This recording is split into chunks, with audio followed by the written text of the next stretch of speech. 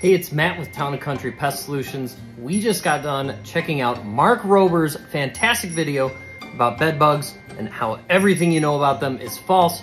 And if you like that, we definitely encourage you to check out our latest episode of Around Town, all about our history with bed bugs. And it's part one. We still got a second part coming Friday. So Mark, check out our stuff. Let us know if you like it.